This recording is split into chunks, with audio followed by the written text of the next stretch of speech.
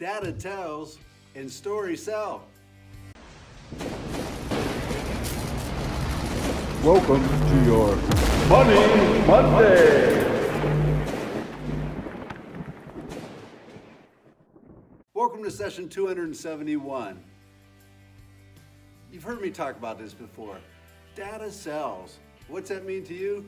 We're in historically best real estate market ever, and you guys are not telling people about the data, the statistics of what's happening in the marketplace.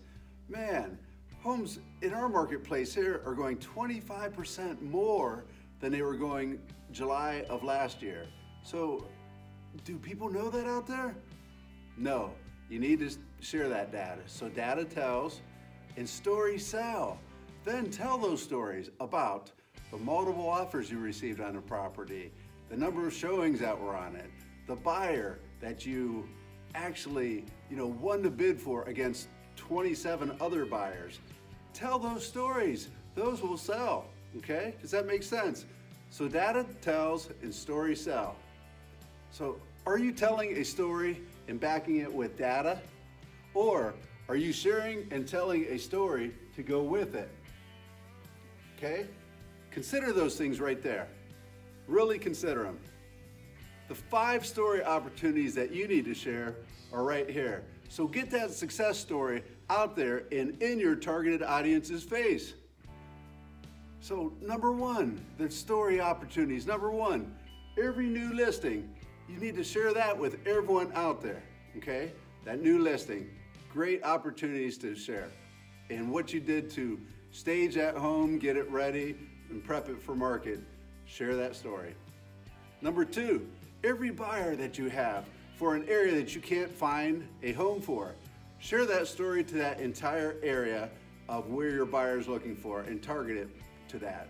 Okay, make sense? Number three, every buyer that you lose an offer out with. You might think, oh, I'm losing offers. I don't have any story to tell. Sure you do. You need to go out and tell that story because that listing agent, I bet you 99% of the time, does not reach out to the public and say, hey, there's just six extra buyers on this property that lost out on it. And, you know, there's multiple offers on that. And you want to get that news out to people. So when your buyer loses on a, a property, go out and tell the story that they lost that one and there's six other buyers and that home got all that money for it in record market time. So every buyer that you lose out for, boom, listing attraction time. Think about it. Number four, every buyer that you win an offer with. Okay, I just talked about that a little bit ago. When you win an offer against multiple offers, hello, there's all kinds of stories to tell, aren't there? So check it out and make sure you get those stories out there. And opportunity number five for stories, in my opinion, is every seller that you represented and sold. Get that story out there and tell how you sold that property.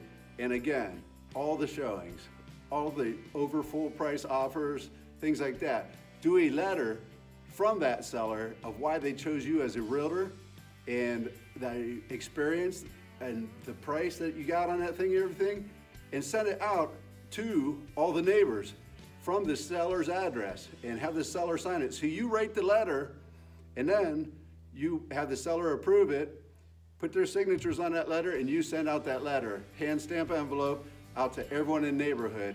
And boom, what an opportunity that is for them to share the success story of how you sold their home. So those are the five great story opportunities that you need to share. So remember folks, data tells and stories sell. So tell that story and back it with data. Are you telling the story and back it with data? Or are you sharing the data and telling a story to go with it? Those are my questions for you this week and get down on it. Actually utilize, tell the story, okay? Data tells and stories sell. I hope you liked this video.